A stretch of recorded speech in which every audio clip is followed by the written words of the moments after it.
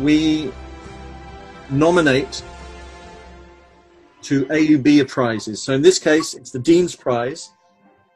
The Dean awards several prizes within the School of Art, Design and Architecture. And we're asked to nominate a student. Um, and this year's nomination is, drum roll, Omar. Uh, Louise, do you want to say a few words? Congratulations, Omar. Oh, thank you. Yeah, so I, I'd just like to say a few words. Um, it's always a joy when you learn as much from a student as they learn from you. And this is what makes Omar special and worthy of such a nomination.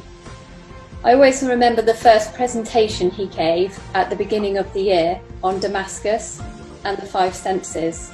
It was like a lecture, a lecture on what architecture should be about.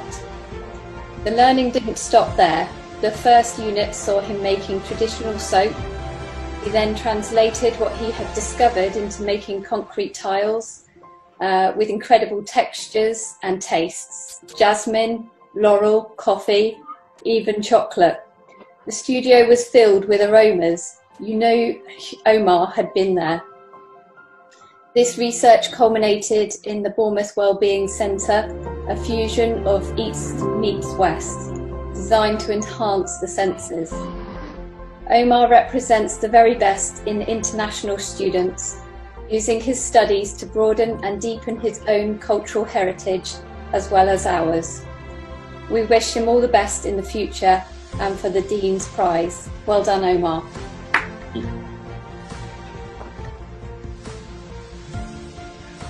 I don't think Damascene has anything to do with Damascus, but I was trying to find a word that captured the essence of Damascus. It also smelt of aromas and scents off the screen, and damp, warm water and temperature.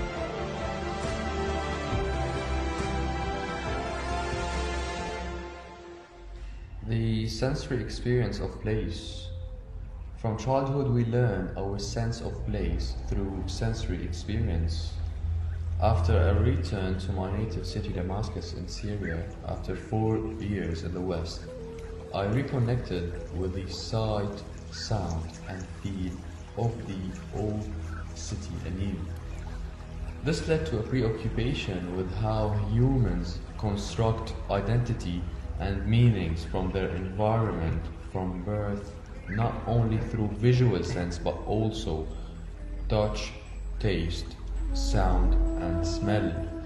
And it was the starting point for research by making and experimentation to explore new materials which can retain the sensory architectural experience of the culture past as highly relevant to maintaining links with the roots of society while adapting to the social effect of displacement. The